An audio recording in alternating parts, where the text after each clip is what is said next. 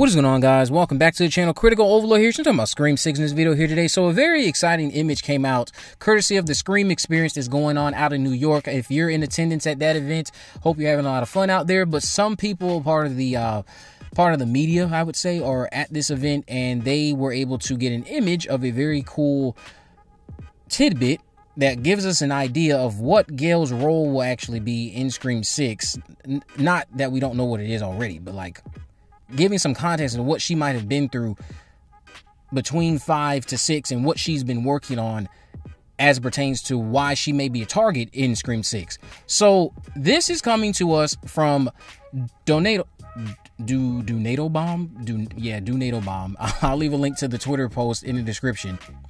But they put out this image that clearly showcases that Gale Weathers must have gone ahead and wrote that book after all in Scream 6 related to the events of Scream 5 because as you see in this stack of books, it says requel, Terror Returns to Woodsboro. Now, I will say this before I get into my whole thoughts on this.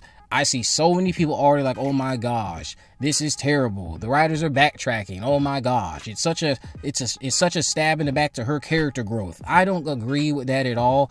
I think also, of course, if you immediately want to assume the worst context possible, then sure you would think that this means they're trying to backtrack on on the on the notions that she had at the end of five about not wanting to write a book about Amber and Richie and letting them die in anonymity, and instead expressed interest in wanting to sh- in wanting to write a book about Dewey and the good man that he was and how he used to be sheriff of Woodsboro and probably also go into some other personal connections that we know exist between them because they were married for a good chunk of time.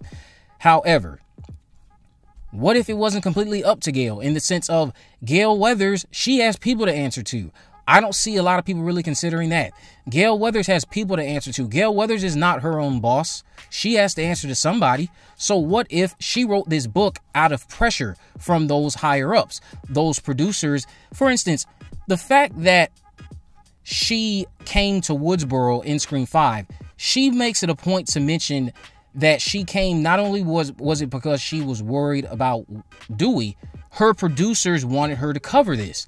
So could it be a case again where in Scream 6 this is what's happening because we saw that created some tension between her and Dewey in Scream 5, but we know that there's also going to be tension between her, Sam, and Tara in Scream 6. And it seems it's tied to this new book. What if Gale Weathers didn't specifically solely want to have a wholehearted desire to write this book? What if it came down to the fact that it was either her, her career that she could throw away, or you write this book?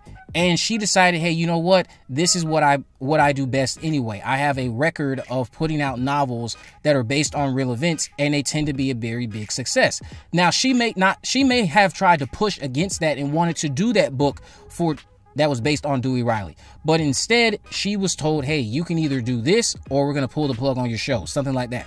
It could just be, again, pressure from those higher ups that forced her into making the decision say, you know what, whatever comes my way, I'll just accept it because I need to protect my brand. I'm going to write this book about Amber and Richie, and I'm still going to weave in the chunk about Dewey that I really want to do my book on.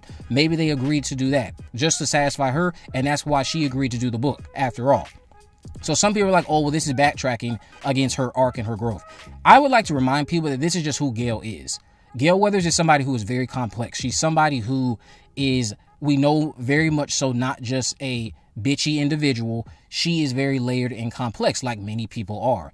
They're not so surface level. And Gale is somebody who we know over time we've we've grown to love and appreciate her, and see that there is much more to her than what she wants to cover in the news. She is very she is becoming someone who is very much so in, in uh, touch with her emotions, someone who is aware of how other people feel about what she does. But at the end of the day, she's also been somebody who says, you know what, let people think what they want to think. Let them feel how they want to feel. I'm going to do what's best for me and my brand. That's not backtracking on her in any way. I think, if anything, that's continue to be consistent with who she is. Because if it also came down to the fact that she just simply wanted to write it, I see no problem with that. The other thing with this that I know people probably aren't thinking about is just how exciting this might make things. What if there is somebody in this movie who is upset about not only the contents of this book, but they're upset about how it paints Amber and Richie. I mean, we know that Sam presumably is mad because Sam is dealing with the rumor that she is the one responsible for the murders of Scream 5. So that can explain why she has an issue with Gale in Scream 6.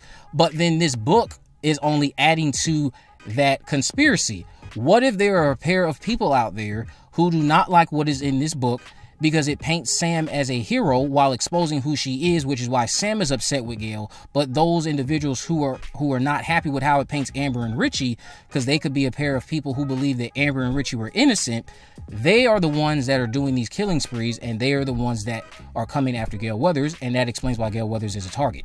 So there's a lot of exciting possibilities about this angle too. I just don't think it's so black and white in the sense of oh they're just backtracking completely, devaluing her growth over time. If anything I think it's just showcasing that something might have gone down in between five and six that led to her deciding you say, you know what, I'm going to write this book. As long as I get to do my chunk on my late husband, then I will do this book for you guys because I do not want to have my show pulled off the air. I do not want to have my brand deteriorated after I worked so hard to get it back up. I mean, she was struggling in Scream 4. If anything, this is something that I can forgive you of, Gale. I can forgive you of this if this is something you literally decided to do because of the fact that you just know, hey, I tried to write some other things and they just don't work. So I, I had to go back to what I do best. It's understandable. I can be mad at you, but I'm not going to say that's completely against who you are. It's understandable, especially if, again, there's a factor to it that relates to her higher ups.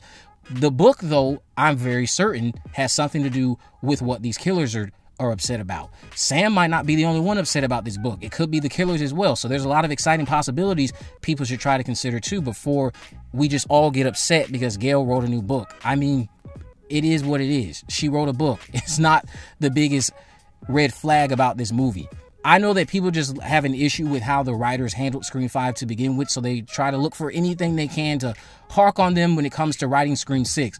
I don't think this is a big backtrack on anything about Gale, especially when we don't have all the complete context.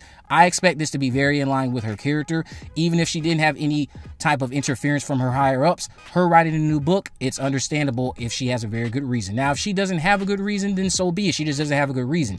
I still wouldn't say that her writing this book is something that is a big, massive issue. It could again be done for a simple plot device that they want to use in the movie.